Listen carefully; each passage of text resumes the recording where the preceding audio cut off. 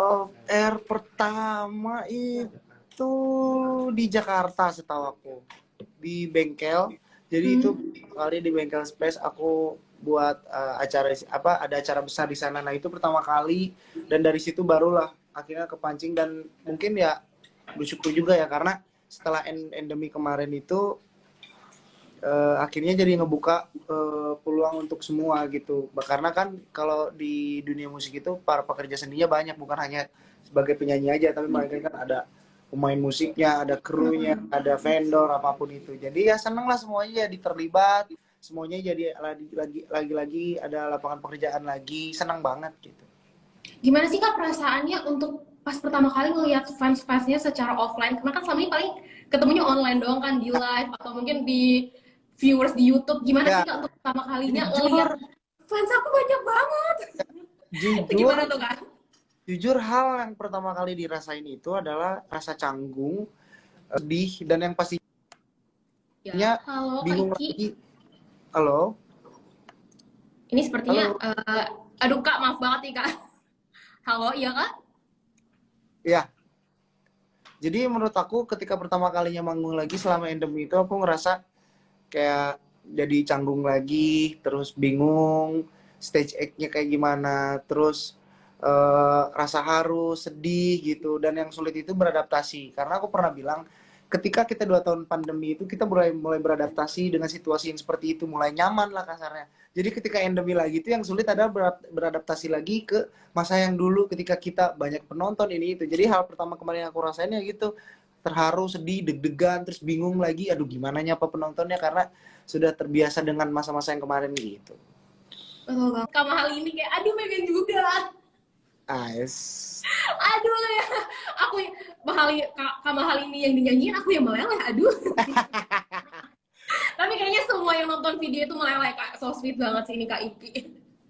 Nih Kak, ngomongin soal eh, kegiatan Kak Iki selama 2022 ini. A- aku lihat Kak Iki juga mengembangkan sayapnya, salah satunya di dunia acting. Kak, Ya. kakak, apakah mengembangkan sayap di dunia acting menjadi salah satu goals kakak di tahun 2022? Ah, sebenarnya bukan jadi sebuah goals aku di tahun ini aja, tapi sebenarnya lebih ke aku ini apa pun yang berbau dengan seni aku suka. Itu aku aku ada rasa ingin tahu, pengen belajar ini itu dan kebetulan aku amat sangat seba- eh, di dunia entertain itu paling seneng juga selain musik adalah aku amat sangat antusias kepada dunia peraktingan, dunia peran gitu. Jadi kalau nggak kalau ngeh kalau di setiap video klip video, klip Iki itu pasti selalu bercerita. Pasti selalu ingin mengasah kalau eh, di dunia perannya gitu. Selalu pengen acting di dalamnya selalu selalu ada alur cerita. Dan itu memang bukan apa ya bukan baru mencoba tapi memang dari dulu udah aku terapkan karena memang seantusias itu Iki ke dunia peran gitu. Contoh karena misalkan di dunia peran kan ada yang namanya riset ada yang namanya mendalami sebuah peran. Nah aku tuh seneng banget. Jadi akhirnya kemarin juga aku seneng banget. Kemarin eh, CXO Media ngasih kesempatan buat aku dan Mahal ini untuk membuat sebuah series bareng. Dan aku juga jujur seneng banget karena disupport parah oleh pegadaian digital kemarin aku sempat ketemu juga di sana jadi dan benar-benar disupport benar-benar dibantu.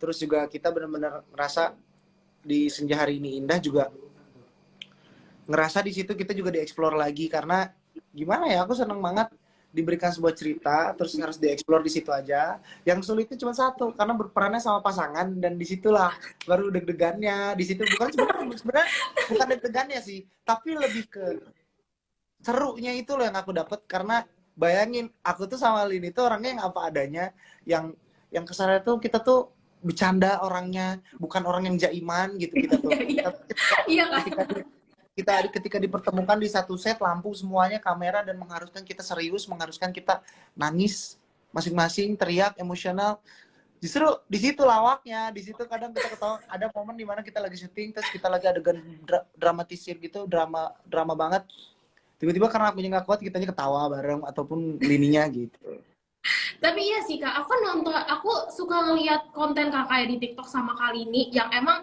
eh, benar-benar apa adanya banget yang ketawa, nonton kon- eh, apa Ya. konser juga kadang ada yang ikut, kadang kadang kadang saling support satu sama lain yang benar-benar natural banget lah, kayak apa adanya.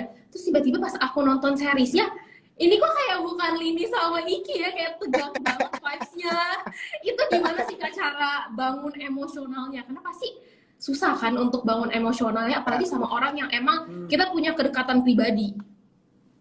Eh, sebenarnya yang lebih paling gampang itu adalah kita lebih memahami apa eh, alur cerita yang kita mau jalanin itu sih lebih tepatnya misalkan karena kan ini relate banget tentang sebuah perbedaan agama gitu ya Temboknya tinggi banget ya. itu yang saya tanamkan Temboknya tinggi. Selama, syuting itu itu yang saya tanamkan gitu. Jadi ketika adegan emosional tuh karena banyak kesedihan karena kan itu relate banget sama kita. Jadi ketika adegan marahan pun aku ngerasa aku memikirkan bahwa anjir iya ya kita kan ini belum tahu ujungnya sampai mana gitu. Dan dan begitu pun mungkin dia sebaliknya. Jadi akhirnya ketika adegan itu kita benar-benar ngedalamin banget. Adegan kita teriak kita marah-marah kayak gitu Berarti pas adegan marah-marah ataupun adegan yang sedih itu benar-benar dari hati banget kayak ini temboknya tinggi banget. Tapi katanya Kak Iki nggak apa-apa yang penting kita jalanin aja dulu karena tembok bisa diruntuhkan.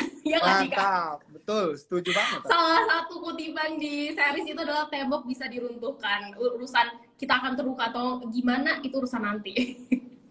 betul Kak, aku mau nanya dong. eh kalau ada yang pengen nonton web seriesnya takutnya kita dari tadi ngomongin series Kak Iki, tapi nggak ada yang ini seriesnya gimana? Seriesnya bisa nonton di mana?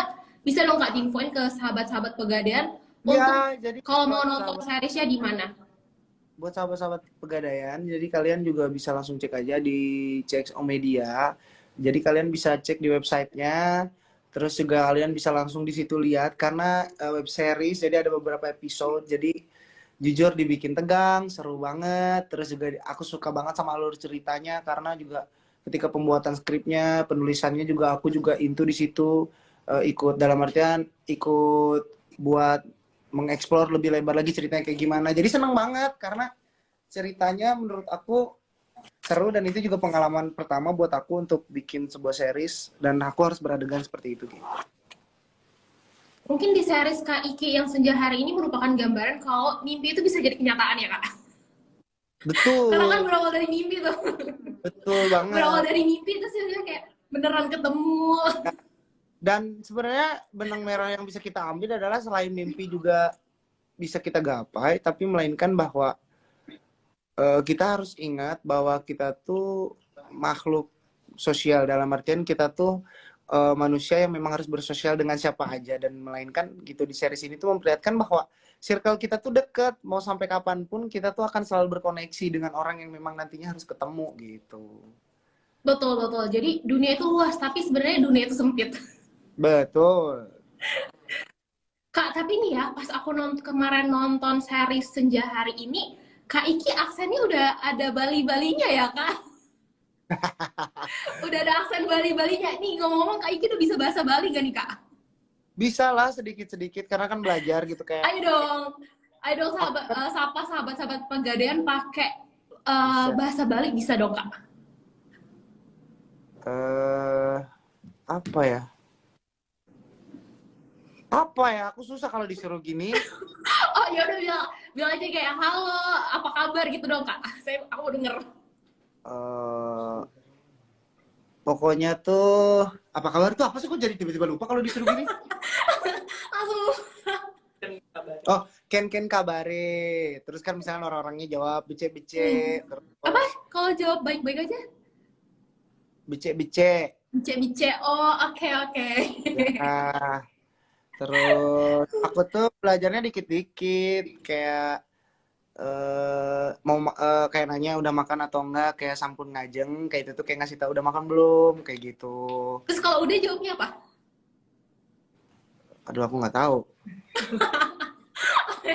Masih belajar dikit-dikit ya kan? masih belajar dikit-dikit tapi ngerti, ngerti gitu karena gini loh ini fun Hmm? ya jadi sebenarnya bahasa Bali itu dan bahasa Sunda ada sebagian bahasa yang memang artinya sama jadi kayak misalkan kalau aku Oh, ngobrol oke. aku misalkan datang ke keluarga Lini di Bali Hmm. mereka kan eh, kebanyakan pakai bahasa Bali terus ketika mereka ngomong oh aku paham kayaknya ini artinya ini karena di Sunda juga bahasanya itu pas ketika aku tanyain iya kok artinya juga sama itu begitupun ketika aku ngomong bahasa Sunda sama keluarga aku aku ajak Lini terus Lini bilang sayang itu tuh artinya ini kan sama tahu di Bali juga gitu Tapi emang eh, logatnya juga rada-rada mirip ya kak Sunda sama Bali. Kayak Ah, lumayan, kayak dikit lumayan mirip. lumayan ya Iya kan? sedikit lumayan mirip. Ah, apakah ini menjadi pertanda kak? Kalau sebenarnya tembok gak tinggi-tinggi amat kok. Iyalah, udah nggak tinggi-tinggi amat kok. Tinggal... tembok udah gak tinggi-tinggi amat kok ya.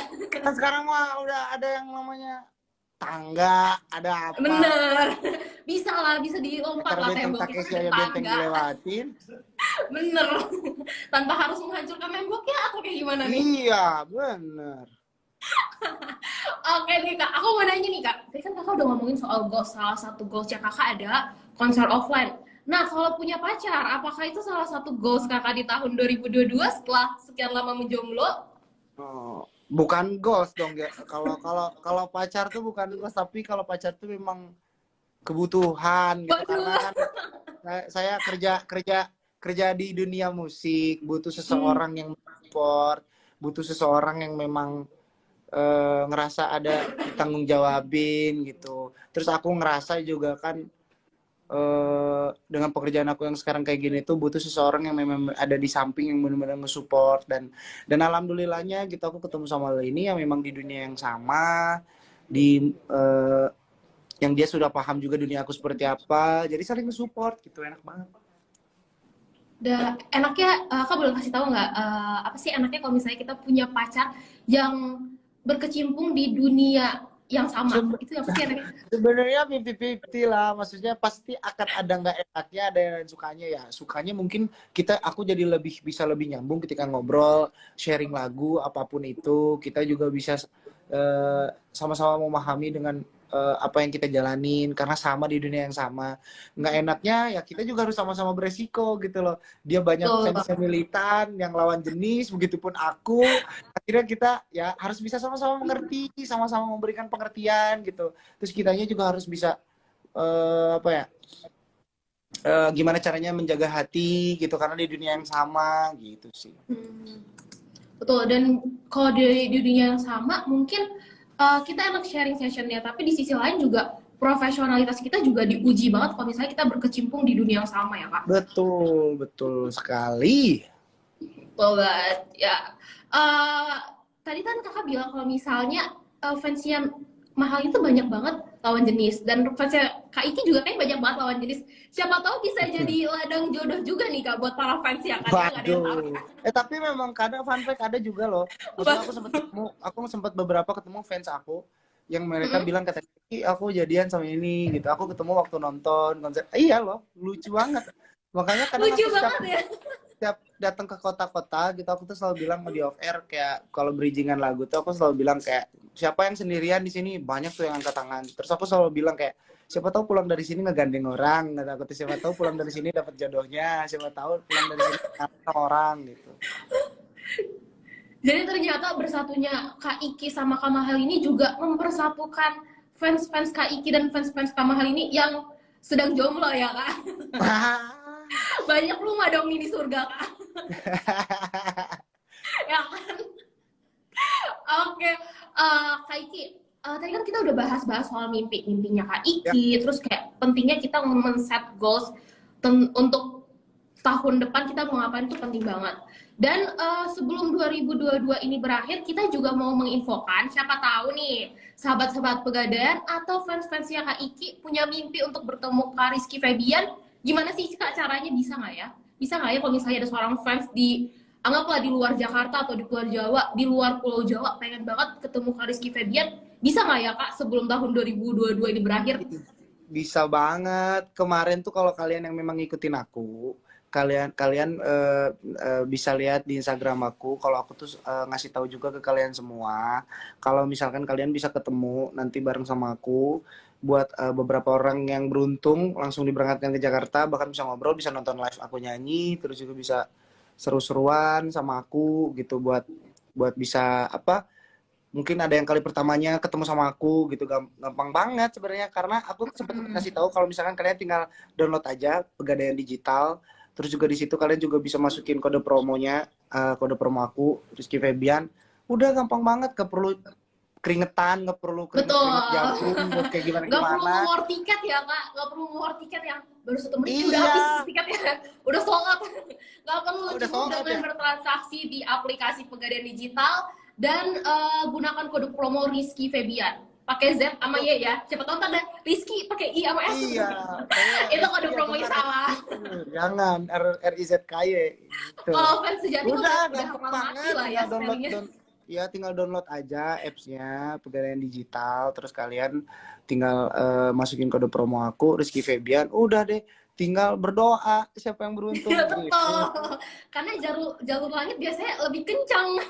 Betul, karena kan perjuangan itu butuh proses. Sebuah Hmm. mimpi ada prosesnya, tidur dulu, baru mimpi. Jadi kalian yang penting udah usaha dulu, tinggal, tinggal kita balikan lagi ke yang di atas. Biasanya kalau orang yang pasrah banget malah dikasih keuntungan gitu, beruntung. Betul betul. Kalau orang udah pasrah banget kayak dan biasanya orang pasrah tuh doanya lebih lebih dari hati banget.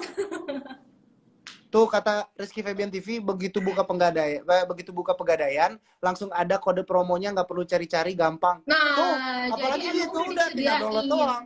Jadi Tinggal download doang lalu transaksi, Iya, gampang tinggal- banget kan. tinggal download langsung ada kayak diarahin gitu sama pegadaiannya. Betul. Ika, eh, kalau tadi kan dari tadi kita bahas soal mimpi yang sudah terwujud di 2022. Kira-kira mimpi Kak Iki di tahun 2023 apa sih Kak yang pengen diwujudin?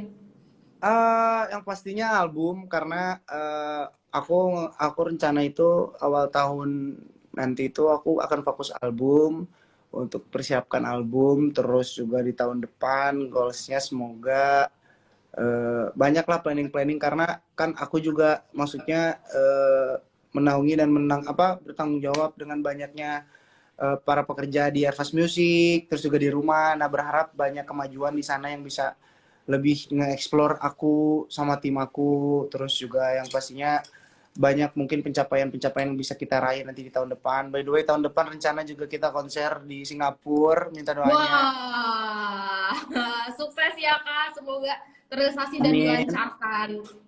Ya jadi banyak banget lah planning-planning yang memang kita pengen gapai di tahun depan. Doain aja gitu. Semoga. Amin.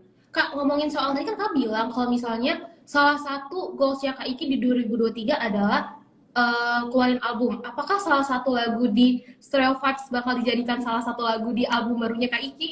Karena nih ya Kak, kalau misalnya aku buka kalau aku buka konten Stereo Vibes nih ya Kak, komennya paling paling pertama jadiin lagu dong, jadiin lagu. Ini nggak mau dijadiin lagu.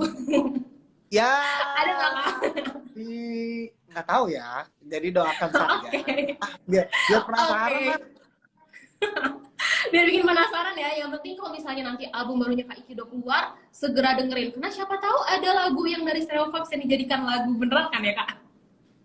Nggak tahu ya. Waduh, bingung sendiri Kak Iki. Oke deh, eh, Kak Iki mungkin sebelum kita beranjak ke sesi selanjutnya yaitu sesi tanya jawab, aku pengen infoin ke sahabat-sahabat Pegadaian dan juga fans-fansnya Kak Iki kalau misalnya mau ikut atau mau datang ke konser Rizky Febian gratis, caranya gampang banget. Seperti yang tadi Ya. udah disampaikan sama Kak Iki, cukup download aplikasi. Wah ini langsung pada deg-degan semua nih, Syed. nama aku bakal disebut gak ya? Nama aku bakal disebut gak ya? Pertanyaan pertama dari Nilda Permata. Tabungan apa tabungan apa yang sudah disiapkan Kak Iki untuk ke depannya? Oke, jujur ya, s- eh, akhir-akhir ini tuh berbulan-bulan udah mungkin eh, tiga bulan sampai empat bulan ke belakang tuh aku sempat kepikiran karena ada resesi segala macem dan itu tuh jadi concern aku banget karena eh, dengan misalkan pencapaian yang udah aku gapai, maksudnya terus juga penghasilan yang udah aku dapatin, menurut aku eh, ada pentingnya untuk untuk udah saatnya dan sekarang aku udah mulai balik lagi yang aku bilang untuk gimana caranya cari aset untuk masa depan gitu ya dan jujur penting banget buat aku. Kemarin aku sempat ngobrol sama Rahul, ini itu. Jujur ya, aku tuh tipikal orang yang pemikir. Jadi kalau misalkan ada sesuatu hal yang menurut aku jadi sebuah ketakutan buat aku, pasti aku pikirin dan pasti aku kayak mikirin harus gimana, terus mikirin apa yang harus aku perbuat kayak gitu. Jadi um, yang aku sudah coba berusaha untuk tabung itu selain aset itu banyak aset kayak misalkan aku eh, udah mikirin eh, harus mikirin beli-beli kayak tanah terus juga mikirin aset-aset lain kayak aku pengen punya rumah lagi emas itu penting banget. Hmm, Karena- benar-benar.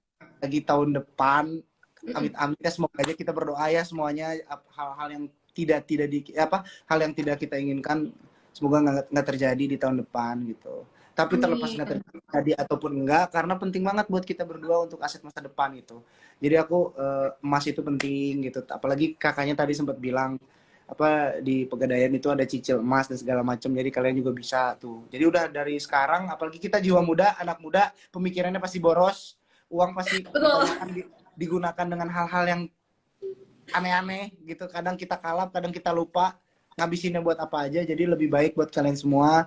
Aku bukannya menggurui atau apa tapi harus sudah memikirkan kalau kalian mempunyai rezeki banyak sisihkan sebagiannya untuk kalian pikirkan untuk masa depan gitu Betul banget. Bentuk aku setuju banget sih sama Kak Iki. Jadi eh, daripada kita kalap membeli sesuatu yang sebenarnya nggak urgent-urgent banget, langsung aja kalau misalnya kita punya eh, re- dan Oke nih Kak, ada pertanyaan lagi dari Yuslinda Purba.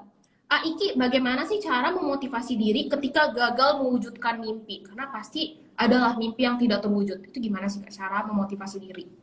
Eh, pasti ada ya maksudnya momen dan fase di situ gitu ya. Cuman ya balik lagi kalau menurut aku hal yang biasanya nge-reminder aku untuk bisa lebih bangkit lagi itu adalah sayang dengan apa yang sudah kita perjuangkan sayang dengan apa yang proses kita udah lewatin. Eh, dengan adanya sekarang Rizky Febiana sekarang tuh kan perjalanannya panjang banget gitu dan nggak eh, dan jujur maksudnya nggak semuanya semulus itu nggak semuanya selancar itu nggak semuanya semudah itu. Kadang makanya saya suka sedih dengan orang-orang di luar sana yang kadang suka berstatement dan tanpa memikirkan semua sisi gitu.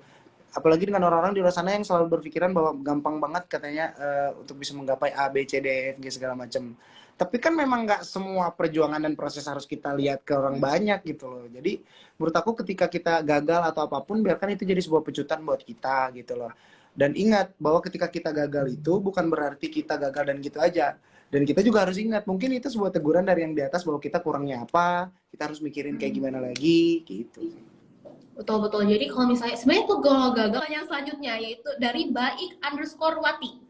Bagaimana cara untuk tidak menyerah mengejar mimpi di saat kita tidak bisa memikirkan diri eh, tidak bisa memikirkan diri saja, tidak bisa memikirkan diri sendiri. sorry gimana aku nggak ngudeng Bagaimana cara untuk tidak menyerah mengejar mimpi di saat kita Oh. tidak bisa memikirkan diri saja. Jadi nggak egois. gimana kita Gimana biar ya? Ini bentar ya. Bagaimana cara untuk tidak menyerah mengejar mimpi di saat kita tidak bisa memikirkan diri saja diri sendiri. Jadi gimana sih caranya kita memir- eh, bisa mengejar mimpi tanpa Ya. memikirkan diri sendiri. Jadi eh, orang sekitar juga tetap menda- mendapatkan oh I see ya info, apa effort dampak positif dari mimpi yang pengen kita wujud.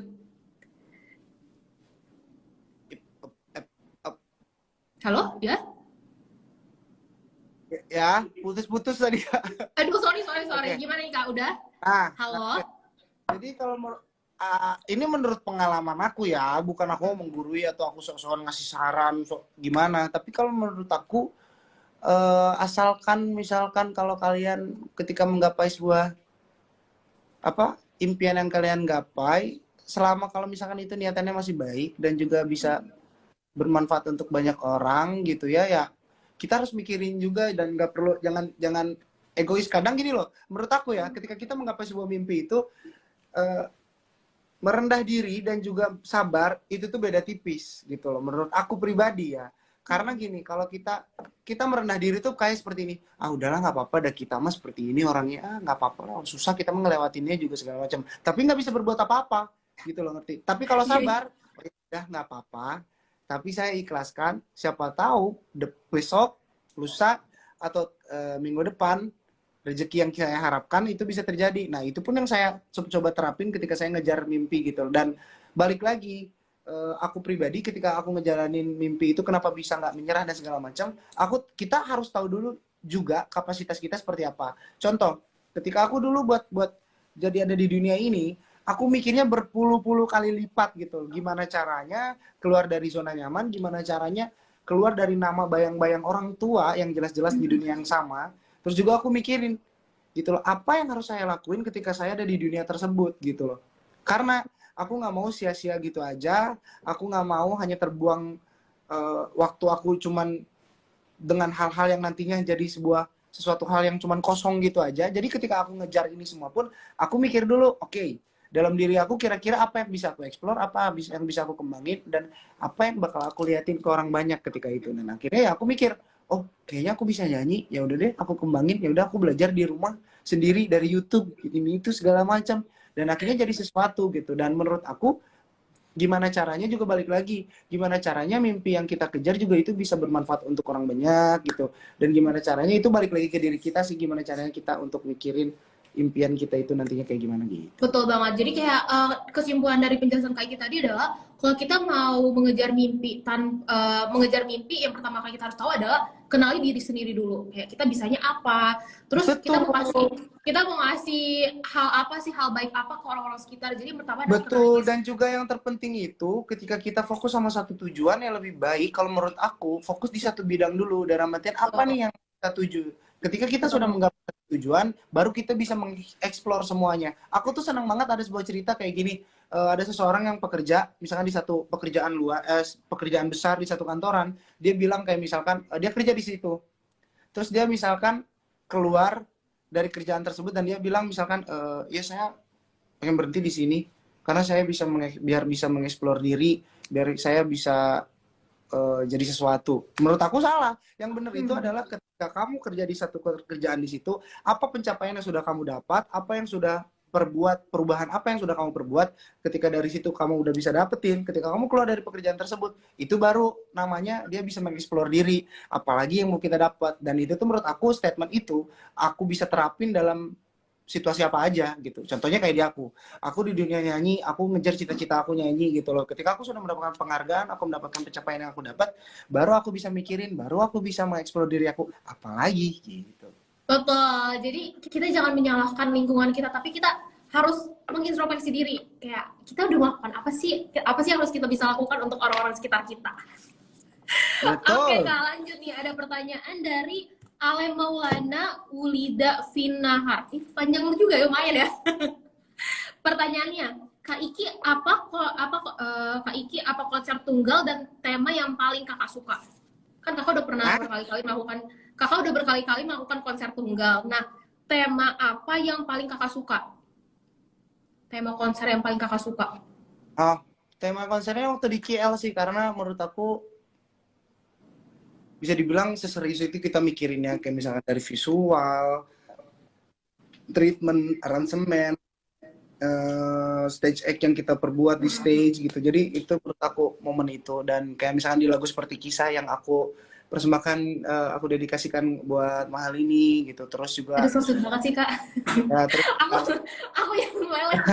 ada ada satu lagu yang aku dedikasikan untuk orang tua keluarga apalagi itu pertama kalinya juga di tahun ini aku ditonton sama ayah adik-adik semuanya di depan gitu masalahnya yang bikin seru itu adalah karena datangnya keluarga terus di kerumunan orang-orang KL yang memang kita juga nggak kenal dalam artian ini kita asing banget nih di sini gitu betul betul tapi orang-orang yang datang kenal Kak Iki semua. Jadi lebih terasa lah ya itu gitu alhamdulillahnya. Alhamdulillah. untungnya pada kenal ya. Kalau enggak kan Iya. boring ya. Kalau kenal kayak Siapa ini siapa? nyanyi? aduh gimana? Iya. Mau ngejok juga kadang takut gak nyambung. Iya. Oke, Kak, lanjut ke pertanyaan selanjutnya yaitu dari Aditde, Aditde underscore eh, underscore. Bang Iki, gue mau nanya, gimana caranya buat mendatangkan percaya diri? Ada tips gak? sebenarnya jujur ya sampai sekarang aja aku tuh orangnya kalau untuk perihal mas percaya diri itu aku juga masih ada kadang kadang ya namanya manusia ya kadang kita juga ada rasa nervous deg-degan kita juga kadang mau manggung juga aku ada rasa nggak percaya diri gitu ya cuman aku pribadi balik lagi eh, kalau buat aku karena contoh ya kalau di musik di aku ketika aku mau perform ketika on stage semua sudut pandang mata orang yang ada di situ tuh kita jadi pusat perhatian kan? Jadi mau nggak mau ketika kita di stage pun ya itu mau nggak mau jadi panggung kita. Ya harus kita yang menguasai jangan sampai penonton yang menguasai. Yang ada kita kikuk salah apa pun itu segala macam gitu. Ya menurut aku yang membuat aku bisa percaya diri seperti ini ya balik lagi itu yang tadi menurut aku. Karena ketika kita sudah menguasai bidang apa yang kita jalanin dan kita terus juga kita mulai udah mulai bisa nge-explore mengembangkan up dengan bidang yang yang kita- sedang kita fokuskan gitu. Ketika kita udah menguasain kan kita jadi ada timbul rasa percaya diri ah karena gue udah bisa kok. Gue udah udah tahu kok gue udah paham gue hatam nih sama diri gue. Gue udah bisa Hmm. kontrol diri gue. Gitu. akhirnya ketika berada di situasi mungkin untuk kali pertamanya ada banyak orang harus berinteraksi bersosialisasi gitu loh. Nggak balik lagi itu pengalaman juga jam terbang juga gitu aku juga nggak mungkin dan aku juga nggak pernah kebayangin dan nggak pernah terfikirkan aku sekarang jadi pintar ngomong kayak gini public speaking betul public speaking aku akhirnya bisa ke explore, bisa berkembang, ya itu balik lagi dengan apa yang kita jalanin gitu. Betul. Jadi kunci pertama adalah gimana cara percaya diri adalah mengenal diri sendiri dulu. Karena diri kita sendiri yang tahu kita takutnya apa sih? Apa sih bikin kita nervous? Gimana sih cara kita eh, apa namanya memitigasi nervous yang ada? Dan- yang Dan menurut dan Apa? aku jangan per- jangan pernah sesekali untuk ingin menjadi seseorang ataupun ingin jadi siapa gitu karena betul. itu selalu menjadi sebuah permasalahan dalam diri kita akan selalu ada insecure, ada selalu ada pemikiran bahwa kurang terus jadinya akhirnya yang itu yang ada merendam terus percaya diri kita yang akhirnya diri kita nggak percaya diri sama diri kita sendiri yang akhirnya jadi ah gue mau mending nggak usah akhirnya terjadi kita pengennya ada di zona nyaman terus. Kita akhirnya diem di di circle itu aja.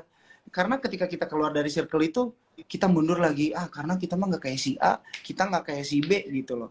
Sedangkan kita nggak pernah mikir nggak kalau si A sama si B aja cuma pemikiran yang sama gitu loh. Mm, jadi bener jadi bener bener. takutnya karena gitu karena karena karena akhirnya kita takutnya pengen seperti A dan si B gitu. Yang akhirnya kita jadi bukan jadi diri sendiri gitu sih. Hmm. Justru kalau tidak menjadi diri sendiri, yang ada karya yang kita berikan ke orang banyak jadi nggak ikhlas gitu. Karena bukan Betul. diri bukan dari diri hati kita sendiri.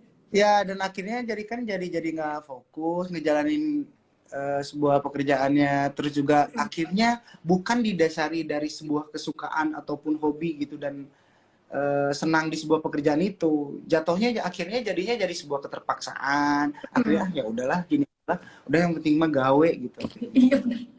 Benar banget kak. Oke kita lanjut ke pertanyaan selanjutnya nih kak. Ada dari Carla Audina.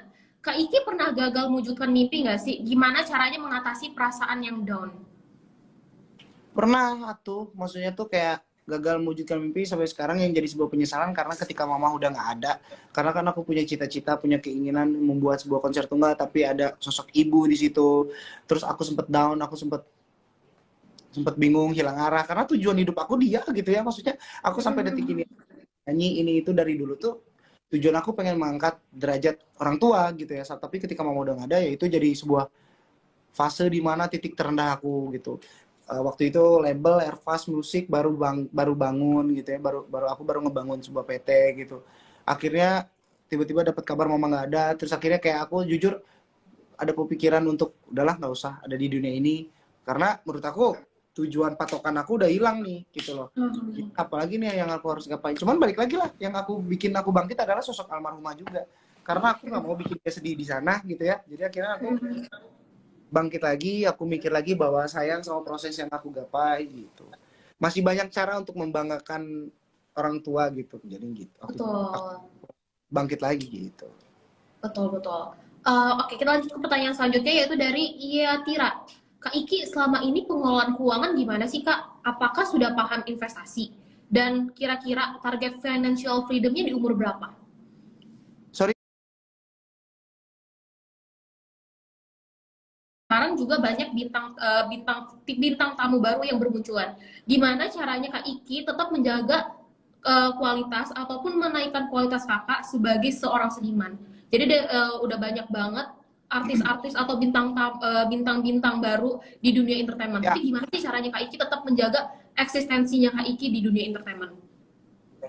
kalau menurut aku pribadi itu jadi sebuah hal yang wajar kalau misalkan di setiap tahunnya akan selalu ada yang bermunculan gitu loh. Dan jujur aku seneng karena menurut aku di setiap tahunnya musik Indonesia itu akhirnya jadi lebih berwarna, jadi lebih beragam gitu ya. Dan aku senang. Tapi kalau di- ditanya bagaimana caranya akhirnya memikirkan hal itu, kalau menurut aku ya semua musisi itu kan semuanya itu saling berkesinambungan dalam artian justru mereka itu sama-sama memikirkan gimana caranya mengembangkan musik bareng, terus juga bagaimana caranya mewarnai musik sama-sama gitu, dan juga makanya ada yang dinamakan berkolaborasi ini itu, bahkan sekarang karena banyaknya off air sekarang tuh mau kita tuh nggak ada genre-genre yang berkelompok-kelompok sekarang, apa pun Hmm. genre didengarkan semuanya gitu. Jadi aku seneng banget. Dan kalau aku pribadi lebih memikirkan bahwa ya udah karena dari awal berkarya sampai sekarang berawal dari sebuah ketulusan jadi apa pun karya yang aku keluarin aku nating tulus gitu aja. Aku mikirin yang penting berkarya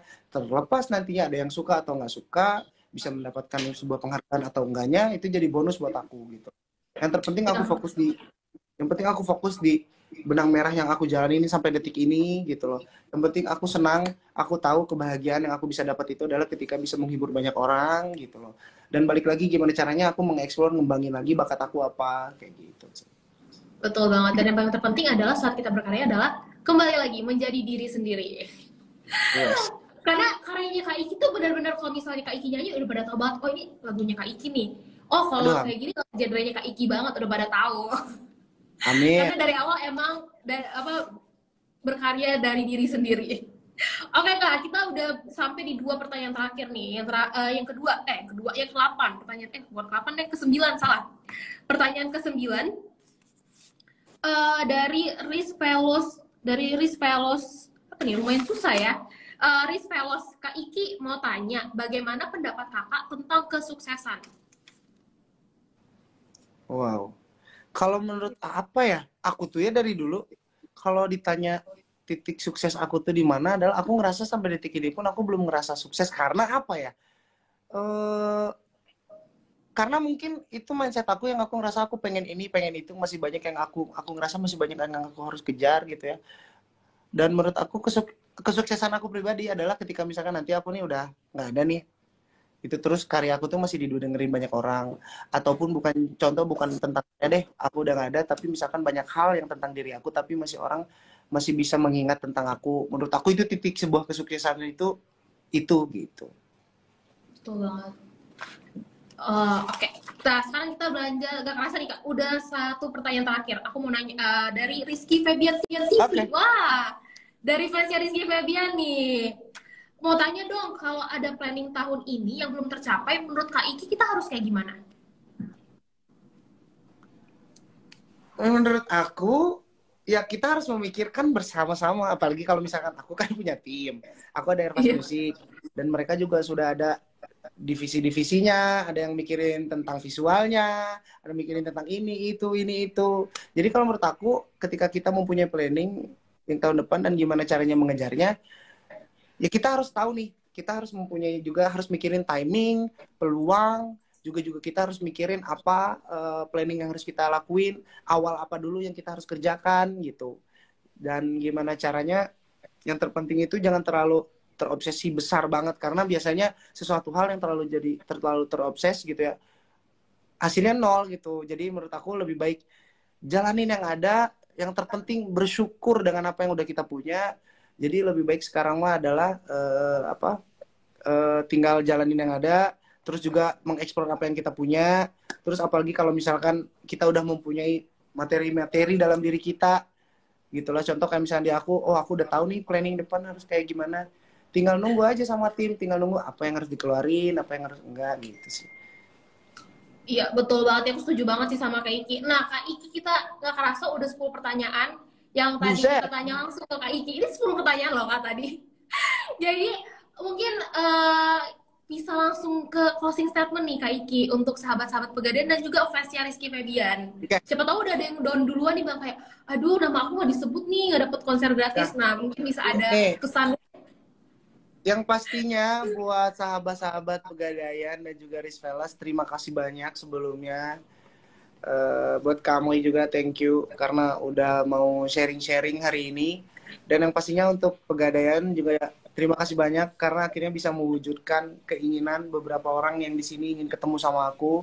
Mungkin ada orang yang memang gak bisa banget buat bisa ketemu. Siapa tahu ini adalah salah satu uh, peluang untuk kalian bisa mendapatkan sebuah tiket dan juga mungkin buat kalian juga nanti yang tadi nggak disebutin namanya jangan putus asa, jangan sedih. Tetap semangat karena banyak jalan untuk bisa kalian gapai. Balik lagi kalau kalian ingin menggapai sesuatu harus ada prosesnya, harus ada perjuangan di situ dan jangan mengeluh gitu. Jadinya thank you banget buat pegadaian digital juga terima kasih banyak karena udah ngasih sebuah wadah untuk Wisfellas ataupun orang-orang yang suka akan karya Iki akhirnya bisa berekspresi agar bisa dapat ketemu sama Iki. Oke, makasih banyak Kak Rizky Febian atau Kak Iki atas sharing sessionnya siang hari ini. Yes. Banyak banget nih eh, nilai-nilai atau ilmu-ilmu yang kita dapat dari sharing session di siang hari ini. Jadi kepada Kak Iki, makasih banyak ya. Semoga ntar kita bisa ketemu offline ya Kak. Siap. Nonton nggak? Harusnya nonton dong nanti senja hari ini. Nonton dong, pasti nonton dong. Lagi ngincer tiket gratis juga nih Kak. Mantap. Oke, terima kasih banyak Kak Rizky Febian. Kak Rizky Febian bisa uh, live live pada siang hari ini dan kembali beraktivitas. Siap. Terima kasih banyak Kak. Semuanya, Thank sampai you. bertemu. Sehat-sehat semuanya. Thank you, Begadang. Terima kasih Kak.